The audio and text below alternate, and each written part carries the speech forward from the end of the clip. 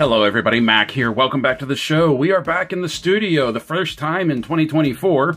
If you missed my New Year's video, Happy New Year, everyone. I hope everybody had a happy and safe one, and I hope everybody had, you know, a joyous holiday season. Today is Friday. It is January 5th. It is technically the last day of Christmas, if you count in the whole 12 days of Christmas. And I had promised that I would do a review, take a look at the Star Wars Black Series Holiday Edition Purge Trooper because mine came late, so I didn't get to do it before the holiday season, before Christmas. So I figured, why not today? Today's as good as day as any, and like I said, with it being the final day of Christmas, why not? So here we have it, the Holiday Edition Star Wars Black Series Purge Trooper. We have it in that special holiday packaging where the snowflake is actually made up, if you take a look here, is made up of the Purge Trooper's helmet and the silhouette of the mouse droid that we get with this. So it is the standard, well, I believe it's the standard holiday packaging that the Black Series Holiday Troopers come in. Big window so you see everything that you get. A Star Wars version of the to from tag over here on the side. A window with a bow. Window up top mush down below. And on the back, we just have more jargon along with celebrate the season with specially designed Star Wars figures from the Black Series. So that is all that we have for the packaging. But before we go on, please remember that I have started a Ko-fi page and I explain the reasons why I have started doing this. It's only a dollar to join, but I really want to try and build up, you know, this this collector, a toy collector community, so that we can all, you know, talk about the things that we love, which is mostly action figures, toys, things like that. There is a link to it in the description below, and if you check out that video from the beginning of the year, I kind of explain why I'm doing it, what we're getting into, what the purpose is, and now that I say it out loud, I really need to put a um, introduction video up on the Ko-fi page as well. Also, remember, if you want this figure, you can get yourself one at Entertainment Earth. Entertainment Earth is your one-stop shop for all toys, clothing, collectibles, and more. Get the newest from Hasbro, Mattel, Bandai, and Super 7, as well as exclusives that can't be found anywhere else. With over 25 years in the business, Entertainment Earth has what you want. Click the link in the description below. Okay, here he is, our holiday purge trooper, out of the box and putting the tape measure to him. We can see that he is approximately six inches to the top of his helmet. Okay, so first off, let me start this off by saying what most of you who have watched the show probably know. I do not collect Star Wars Black Series figures. I also have fallen so far off the Star Wars bandwagon that I'm I don't even know what the Purge Trooper is. I haven't watched any of the shows. I think it was Book of Boba Fett he was in, or maybe was it Obi Wan that the Purge Troopers showed up? I can't remember. Don't know anything about the Purge Troopers, so I don't have any way of gauging it versus the on screen version of the figure or of the character. Obviously, the trooper doesn't look like a nutcracker. So I'm just going to be basing this off of what I have in hand. And what I have in hand looks wise, looks really good. I'm actually kind of disappointed. I'm actually a lot disappointed that the Purge Trooper, that this one got here so late, because this is my favorite of the holiday figures, not just of this year, but basically of every year they've put a figure out. As a matter of fact, this and the Snowman Snow Trooper that I did last month, is the only or are the only holiday figures that I've ever picked up from the Black Series.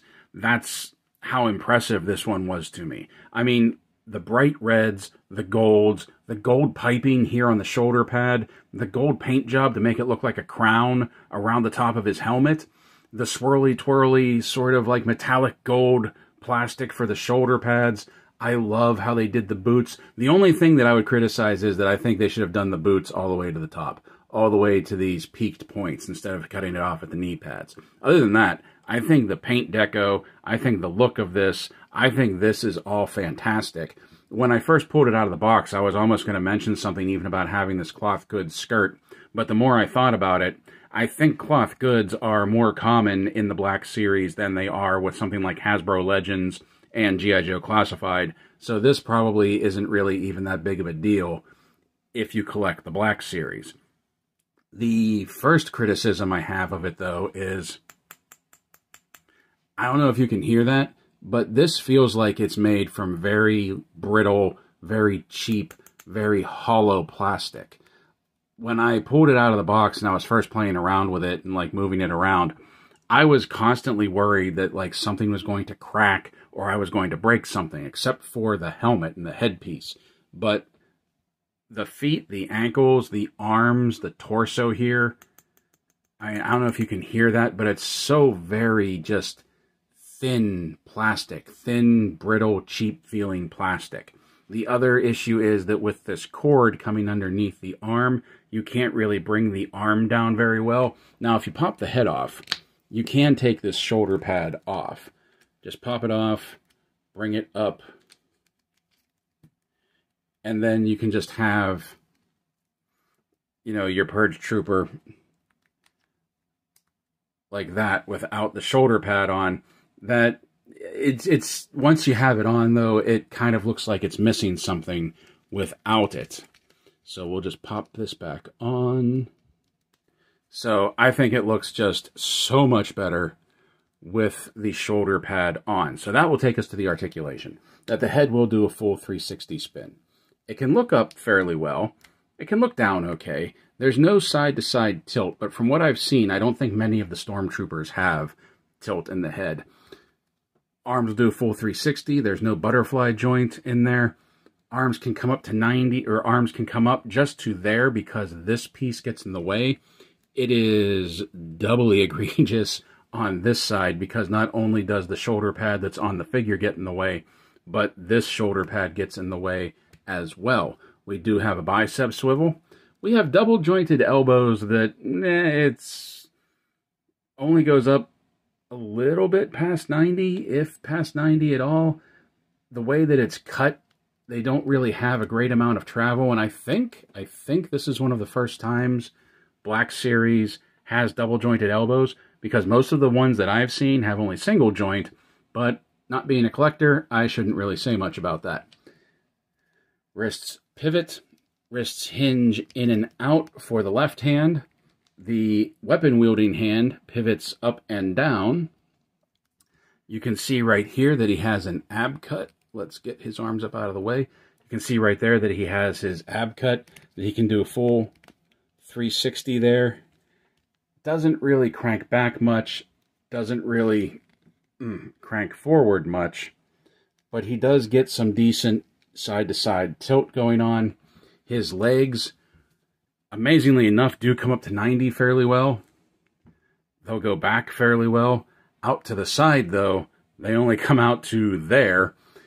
There is a hidden um, uh, thigh cut underneath the large cuff of the boot, which I like. I always like when they hide things like that. Double jointed knees that you can't really get in real tight, but it travels better than the arms do. No boot cut. Ankles rock back on some very tight detents.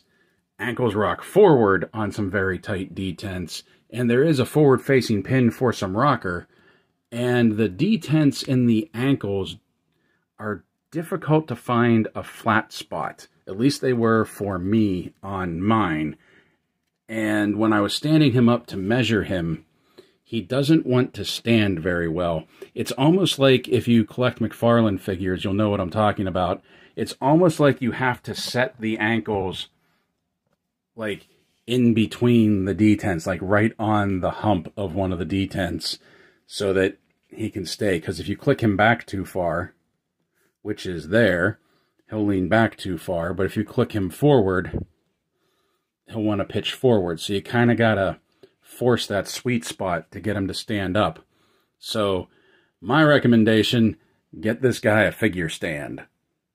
There aren't many accessories with our Holiday Purge Trooper, but one thing that we do get is this blaster rifle that I think looks pretty good. I like the white of the barrel. I like that they brought back the gold handle and the gold armrest or the gold shoulder rest for this. And I like the black that's on the stock that matches up with, you know, his boots and his shoulder pad right here. And he does have a trigger finger hand. You just take that, you pop it in and twist, and there he gets a really good grip on it. However, with the limitations of the articulation and the limitations of his uh, shoulders, it's hard to get him in a firing stance. He can get a decent two-handed grip on it. Oh, whoop, get in there. He can get a decent two-handed grip on it, like in a relaxed position, like guarding. But when I was playing around with him, it's kind of hard to get it up to a shouldered position because of the shoulder pad, because of the pads underneath that shoulder pad, the armor attachments there. But he does look good holding it. I do like that. Once again, though, just like with the um, the snow trooper that I got, I kind of wish it would have just been like the what is it, the EU, the E11, the standard stormtrooper blaster. I would have loved to have gotten that with him, but I can deal with this. That looks good. Another accessory that we got is the mouse droid right here, and it is done up in colors to complement the Purge Trooper. We have it molded mostly in gold with a black, a single black stripe going down it, and the wheels do spin. It's molded nicely. I mean, it is what it is. It's basically a slug with wheels. That, but really, what else do you expect for the mouse droid? And at first, I didn't think that the gold really matched up, but I don't know, maybe when you hold it next to it, it still doesn't really match up. It looks more like gingerbread. Like I should almost get some uh, paint markers and put some frosting on it and do this up like a uh, gingerbread house, a gingerbread mouse droid.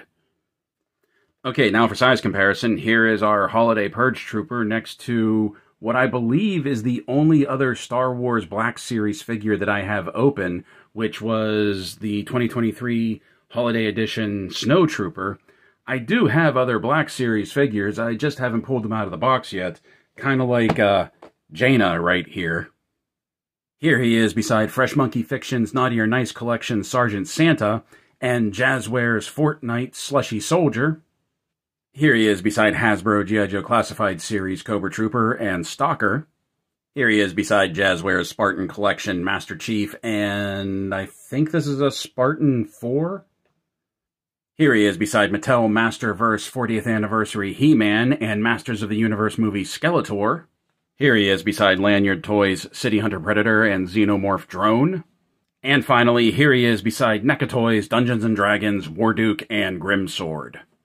So what is there to say about it? It's a holiday figure, it's a gimmick figure, it's not meant to be taken seriously. It's definitely not meant to be a must-have for collectors of the Black Series line, at least not in my opinion. However, it is fun. He looks great. Like I really feel like that the Purge Trooper here, the the Holiday Purge Trooper with that soldier, that Nutcracker deco going on, I really feel like you could use this figure for other things if you wanted to outside of like the holiday season. Like you could army build this thing, maybe make them like royal guards or something, just because of that bright red, the golds, the deco on it.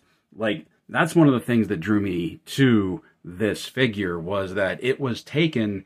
I don't want to say it was taken seriously, but there was actually some thought and some effort put into this one. Whereas there have been other instances where it was basically like a scout trooper and his armor his armor was painted up like an ugly sweater.